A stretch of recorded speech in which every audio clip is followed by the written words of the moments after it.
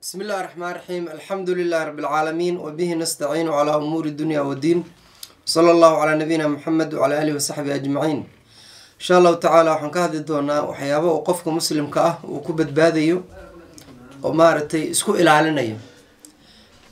Sideedaba waxaa ogaataan qof kasta oo muslima yani waxa uu leeyahay cadow buu leeyahay.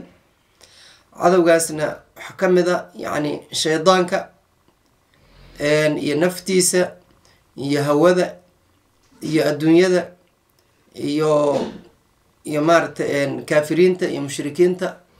Yani waxyaabahaas oo dhan waa cadow maaragtay qofka ku hareereysan marka waxaa la doonayaa qofka muslimka ah in uu markasta uu adkaarta sharciga ah iyo qur'aanka iyo wixii uu ku badbaadi lahaa jin iyo insiba sharkooda uga badbaadi lahaa inuu ku dadaalo ducooyinka rasuulka caleyhi salaatu wasalaam in badan waxaa arkeysaa in uu ilaahay subxaana wa tacaala dhibaatooyinka uu ka magangeli jiray. Ducooyinka rasuulka waxaa ka mid ahaa caleyhi salaatu wasalaam allahuma inii acuudu bika min alkufri waalfaqri ilaah waxaan kaa magangelayaa gaalnimada iyo faqiirnimada. Waaljubni yacni fulinimada ayaan kaa magangelaya. Waalbukli bakhaylnimada ayaan kaa magangelaya waxaa ka mid ahaa min sayi al asqaami yacni cudurrada xunxun ama ama halista ah ayaan kaa magangelaya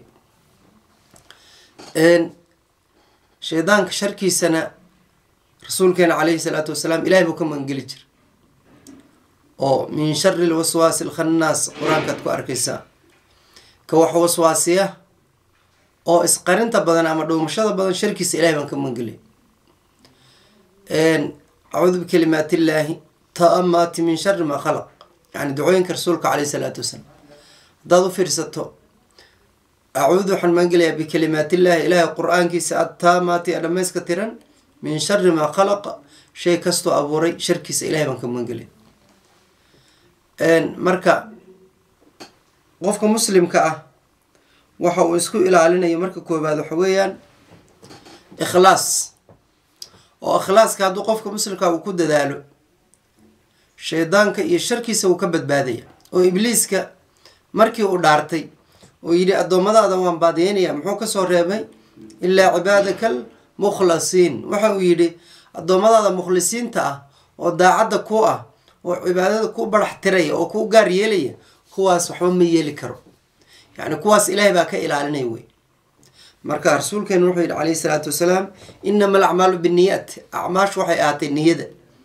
Camal walba marka la sameynayo ilaahay subxaana wa tacaala wuxuu fiirinaya qofka niyadiisa marka niyaddu waa inay tahay ilaahay dartiis oo qalbigaaga aadan cid kale acmaasha aadan la wadaajin camalkuna uu yahay camal saalixa ilaahay dartiina aada u samayso ikhlaaska marka ilaahay subxaana wa tacaala qur'aankana wuu inagu faray wamaa umiruu ila liyacbudu allaha mukhlisiina lahu ddiin xunafaaa wayuqiimu asalaata wayu'tu zakaata wadalika diinu lqayima yacni dadka lama amrin inay ilaahay mooyaan yani wamaa umiruu lama amrin ilaa mooyaane liyacbud llah alle inay caabudaan mukhlisiina iyagoo baraxtiraya u gaaryeelaya lahu alle addiina cibaadada xunafaa iyagoo xaqa u soo leexanaya oo xumaanta ka leexanaya wa yuqiimu salaata salaada inay ogaan ayaa la amray oo ay tukadaan.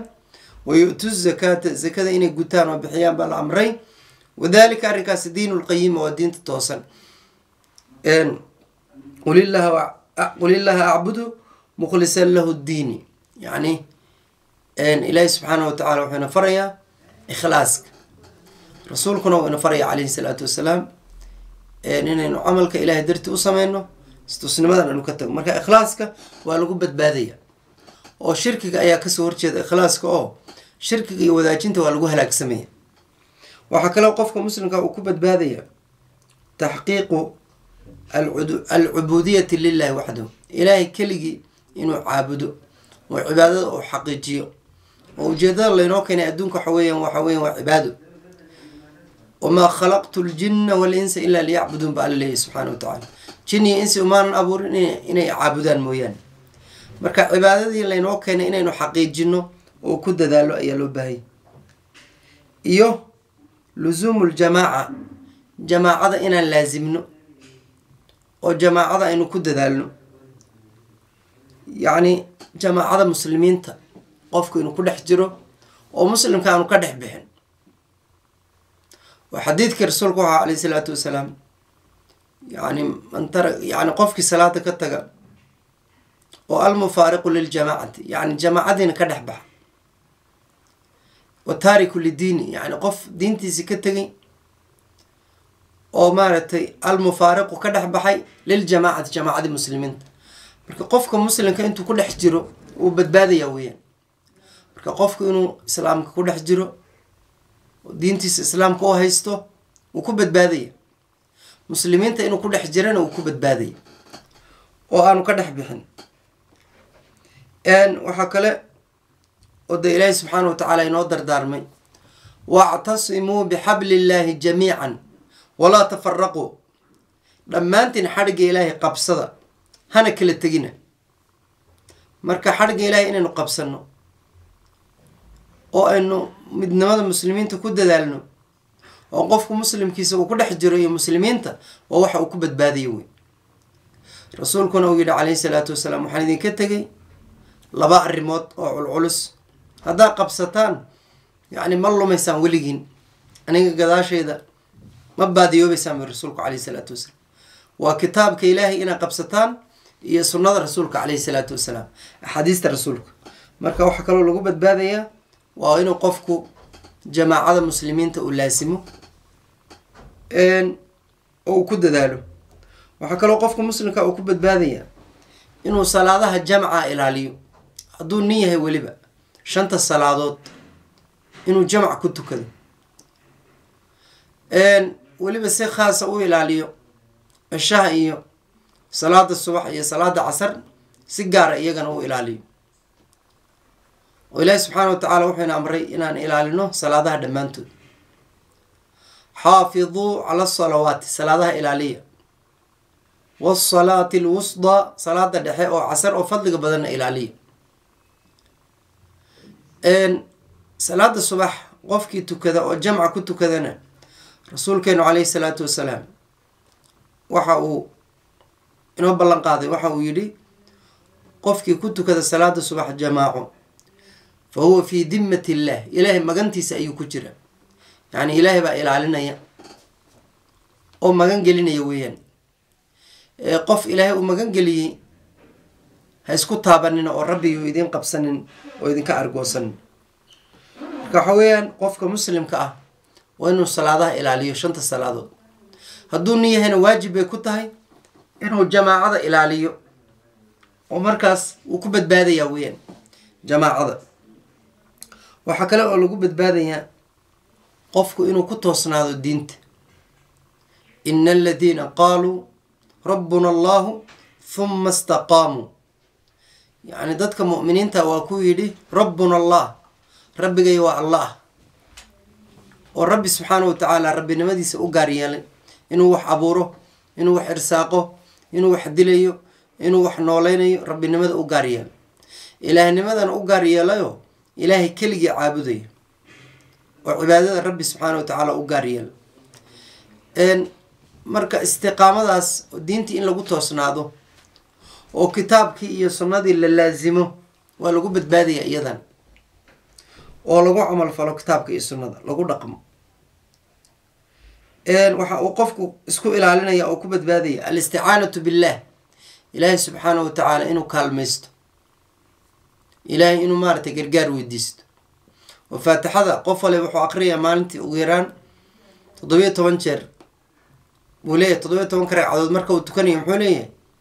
Iyaaka nacbudu ilaahu keligaa baan ku caabudaynaa cibaadada kuu gaar yeelaynaa.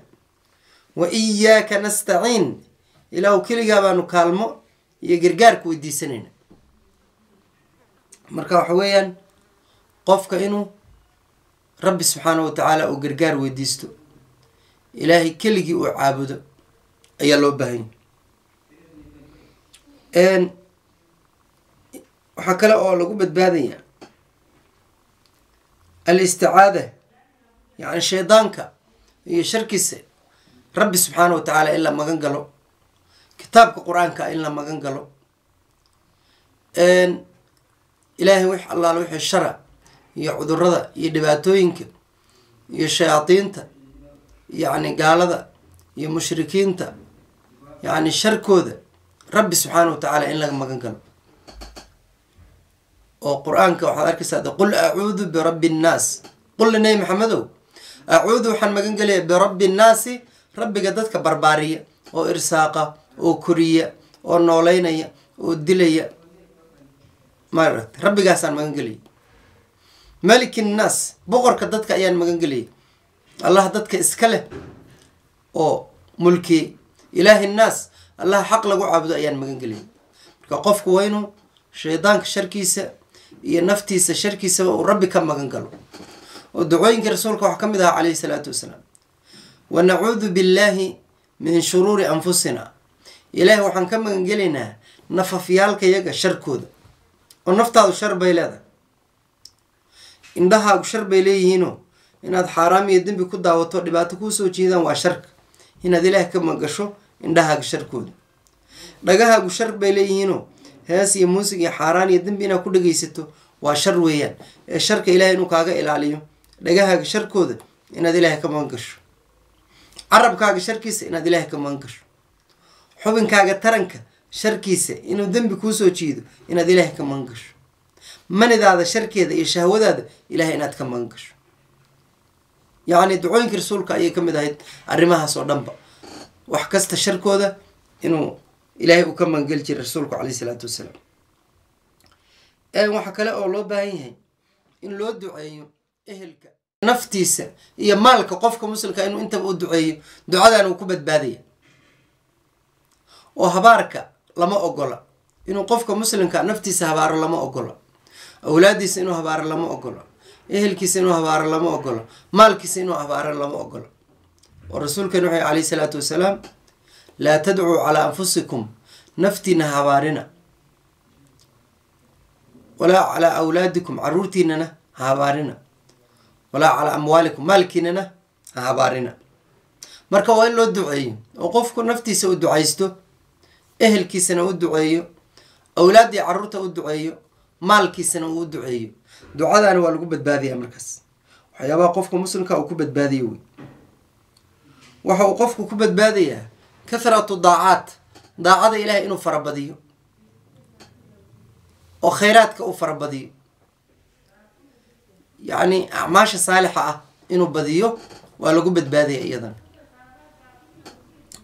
Waxa uu qofku ku badbaadayaa qiraa'atu suurati albaqara suuratu lbaqara inuu akhristo oo gurigana uu ku akhristo isagana uu akhristo haddii kalena uu dhageysto haddii uunu garanayn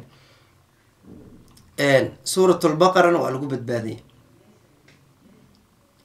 oo rasuulkeena wuxuu yihi calayhi salaatu wasalaam yani akhrista suuratu lbaqara oo guriga ku akriya yacni shaydaanka yani wuu ka cararaa guriga lagu akriyo suuratu lbaqara sixirkuna ma qabanayo haddii suuratu lbaqara iyo suuratul alcimraan guriga lagu akriyo shaydaankuna wuu ka cararayaa sixirkuna ma qabanayo.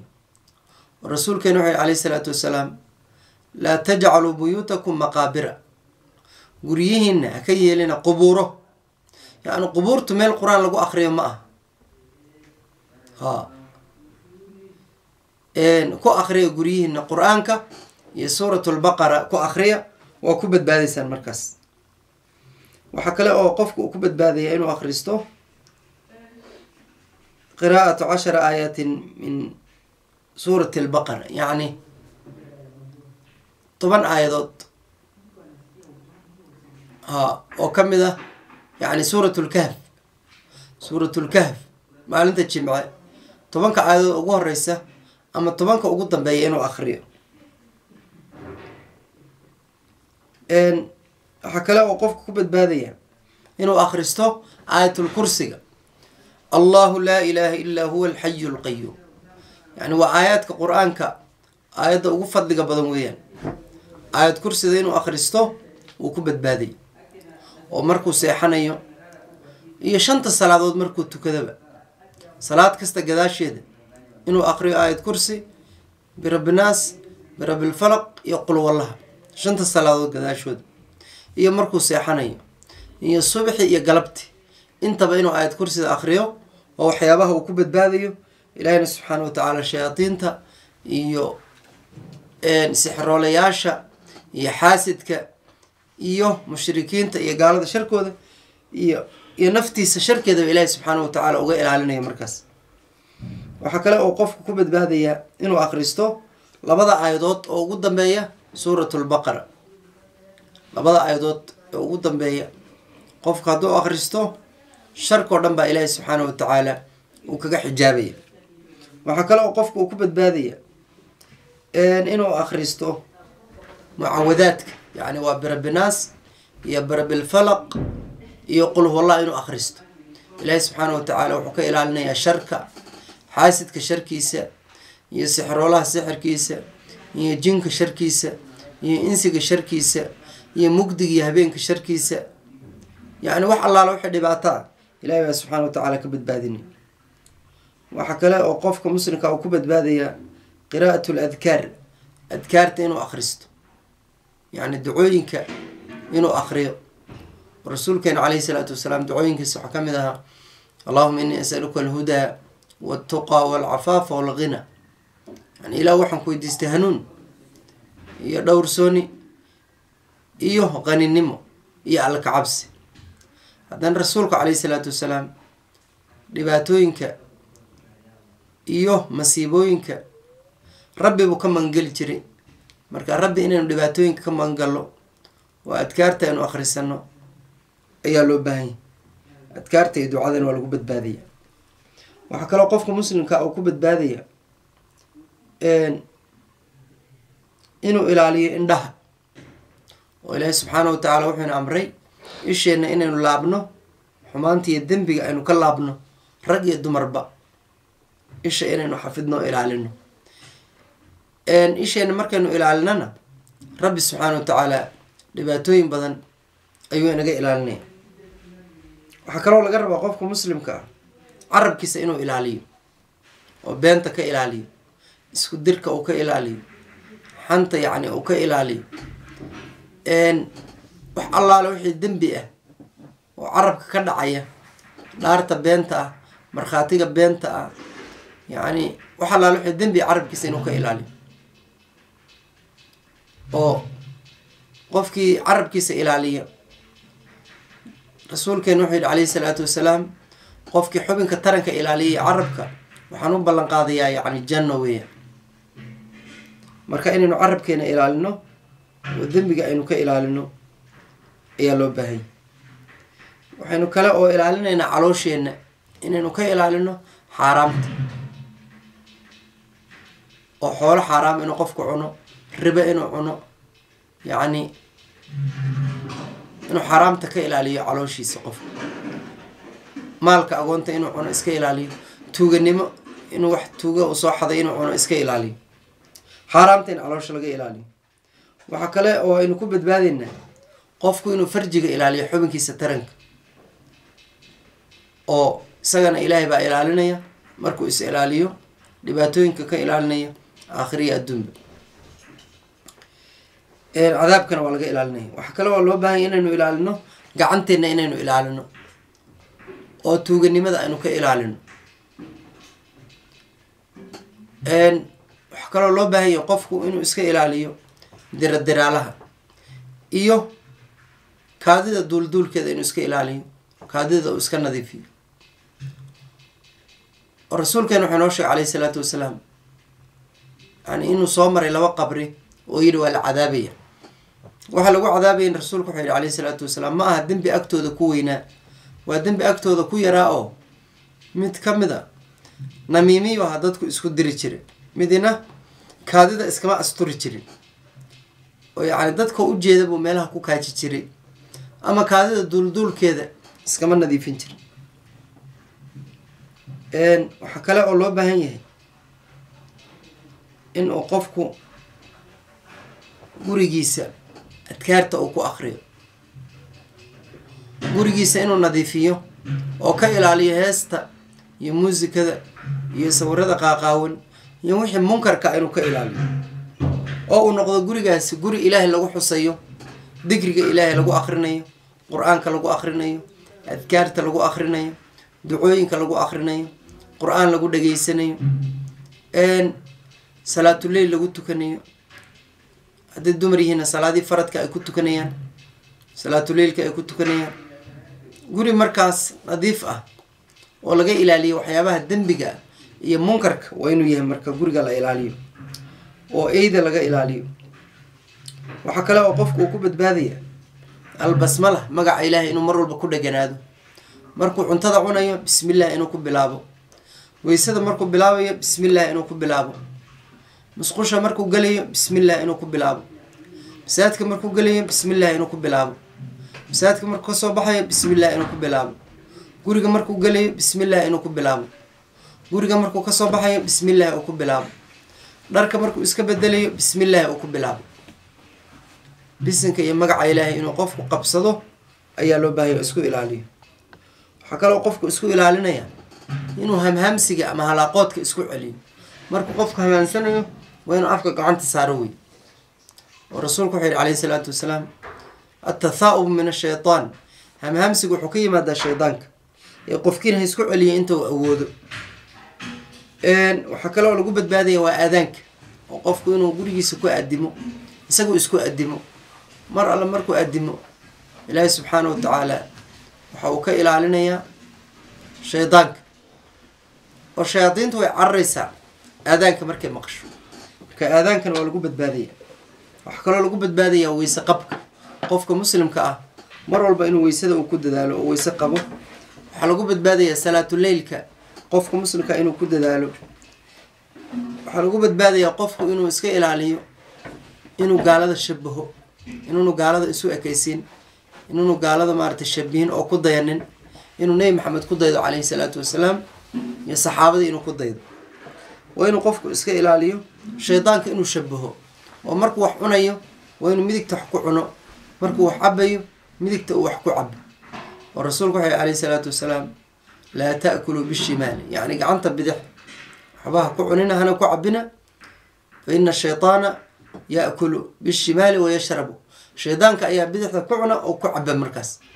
Haddaad qof muslima tahay marka waxaa lagaa rabaa inaadan shaydaanka inaad khilaafto oo shaydaanka aadan ku dayane midigtaada aada ku cunto oo aad ku cabto ayaa loo baahanya qofka muslimka ah waxaa laga rabaa in markuu wax cunayo uu ducaysto oo adkaarta akhristo. Markuu cuntada dhameeyana uu ducaysto wuu ku badbaadaya.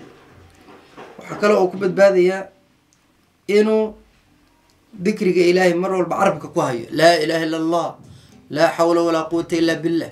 Yani saxaabi baa rasuulku yihi calayhi salaatu wasalaam iyo dardaaran rasuulku wuxuu yihi marka wuxuu ku yihi rasuul allow kelmad aan ku dhego dardaarana yani ii sheeg markaasaa rasuulku wuxuu yidhi laa yazaalu lisaanuka ratban min dikri illah carabkaaga mar walba ku hay ilaahay dikrigiisa. Mar walba carabkaagu ha ka qoyanaado ilaahay dikrigiisa. Laa ilaha illa allah laa xawla walaa quwata illa milku walahu alxamdu wahuwa calaa kulli shayin qadiir. Qur'aanka ad akhriyayso salliga nabiga caleyhi salaatu wasalaam inaad ku dadaasho. Yacni mar walba carabka ilaahay iyo xuska rabbi inaad carabkaaga ku hayso weeyaan. Waxaa kaloo qofku ku badbaadaya adkaaru sabaax walmasaa aroortii ducada inuu akhristo galabtiina inuu akhristo wuxuu ku badbaadayaa maqalkiisa iyo dhegihiisa inuu ilaaliyo dembiga ka ilaaliyo.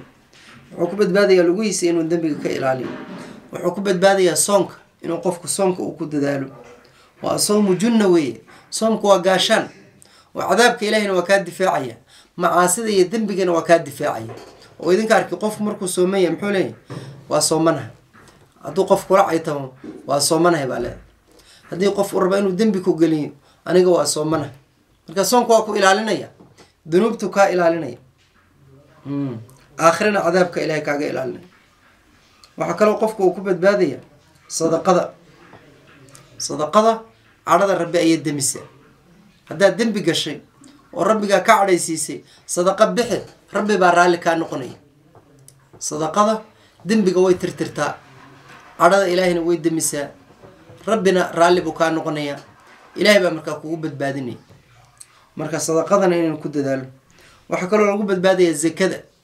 Zakada markaad bixiso ilaahay baa ku daahirinaya subxaana wa tacaala dembigana kaa daahirinaya. Marka zakadana inaynu ku dadaalo waxaa loo baahaya inaynu ku dadaalo xajka oo qofkii xajka xaj mabruura qofkii xajiya oo arkaantii shuruuddii u dhamaystiray xajiya yacni qofkaasi wuxuu la mid noqonayaa qof hooyadii ay dhashay oo kale. Dunuubtii oo dhan baa ilahay uu ka dhaafaya. Waxaa la isku ilaaliyaa waa istikfaarta dembi kasta aada gasho inaad ka toobad keento. Istakfirullah ilahay inaad u toobad keento. Oo toobadda waa lagu badbaadaya. Istikfaartana waa lagu badbaadaya. Faqultu istakfiruu rabbakum inahu kaana gafaara rabbigiin dembi dhaaf weydiista ilaahay waa alle dembi dhaaf badan. Idaa jaa-na maxaa layihi rasuulka caleyhi isalaatu wasalaam markii lagu soo dejiyo idaa jaa nasru llahi walfatx wara-ayta annaasa yadkhuluuna fi diin illahi afwaaja fasabix bixamdi rabbika wastakfirhu ilaahay u tasbiixso oo subxaan allah dheh bixamdi rabbika ma hadda rabbigaana ku daro? Subxaan allahi wa bixamdihi dheh wastakfirhu ilaahayna dembi dhaaf weydiiso. Ee rasuulkeenuna caleyhi salaatu wasalaam maalin walba boqol jeer ayuu ilahay dembi dhaaf weydiisan jiray oo u toobad keeni jiray marka istikfaarta waad ku badbaadaysa. Ilaahay dhibaatooyinku kaaga badbaadinaya yacni ilaahay irsaaqad waasaca ayuu ku siinaya dhibaatadii kugu dhacdayna waa lagaa faydayay marka istikfaartana waa lagu badbaadaa. Oo ilaahay subxaana wa tacaala qur'aanka waxaa noogu sheegay ilaahay inuunu dadka cadaabeyn iyagoo dembi dhaaf weydiisanaya. Dadka intay ilaahay dembi dhaaf weydiisanayaan rabbi subxaana wa tacaala ma ciqaabaya oo ma cadaabaya marka istikfaarta aynu ku dadaalno wax kastoo khayr aynu helayna markaas. Ilaahay markaynu u toobad keenno oo toobadana aayado badan baa ilaahay subxaana wa tacaala uu kaga hadlay. Inaynu ilaahay u toobad keenno oo rabbi u soo laabano ilahayna dembi dhaaf weydiisano. Waxaynu ku badbaadaynaa birul waalideyn labada waalid in loo samafalo oo baari loo noqdo. Waxaynu ku badbaadaynaa sabirka inaynu sabirno oo dhibaatooyinka aynu ka yani dhibaatooyinka aynu ku sabirno xaaraamta iyo dunuubta aynu ka samirno cibaadada iyo khayrkana aynu ku sabirno waxaa lagu badbaadaya waa iimaanka ilaahay inaynu rumayno oo qadarka rabbi aynu rumayno oo qofka haddii dhibaata ku dhacdo uu yidhaahdo ilaahay baa qadaray isla markaana uu iimaankaasna uu ku badbaadaya. Inuu qofku ku dadaalo acmaasha saalixa ah ayaa loo baahanya oo acmaasha saalixa dhammaanteed qofka way badbaadinaysaa. Alla ka cabsiga inaynu ku dadaalo oo qofkii ilaahay ka baqa ilaahay subxaana wa tacaala dhibaato kastoo ku timaada maqraj iyo boos buu u furayaa markaas. Wa yarsuquhu min xaysu laa yaxtasib meel aanu ka filayna rabbi subxaana wa tacala uu ka irsaaqaya waxaynu ku badbaadaynaa akhlaaqda wanaagsan runta iyo ammaanada inayn runta ku dadaalo oo runta rasuulkeena wuxuu caleyhi salaatu wasalaam waxay ku hanuuninaysaa qofka biriga iyo samafalka. Biriga iyo samafalka iyo wanaaguna janno ayuu ku hogaaminaya. Beentana waa lagu halaagsamaa marka inaynu beenta ka fogaano waxaynu ku badbaadaynaa yacni xaaraamta iyo dunuubta inaynu ka tagno. Marka khayrkii wanaagga inaynu ku dadaalo dunuubta iyo xaaraamta iska ilaalino alla ka cabsiga aynu ku dadaalno acmaasha saalix aynu ku dadaalno arrimahaas aynu ku badbaadaynaa aakhiriya adduunba. Qofku markuu ilaahay xafido oo waajibkiisa xafidana isagana ilaahay baa xafidaya. Ixfad illaaha yaxfadka ilaahay xifdi oo waajibaadka iyo awaamirtiisa xifdi wixii lagaa reebeyna ka hadh yaxfadka ilaahay baa ku ilaalinaya ku xifdinaya. Insha allahu tacaala khayrkii wanaag aan ku dadaalno. Xalaqada intaas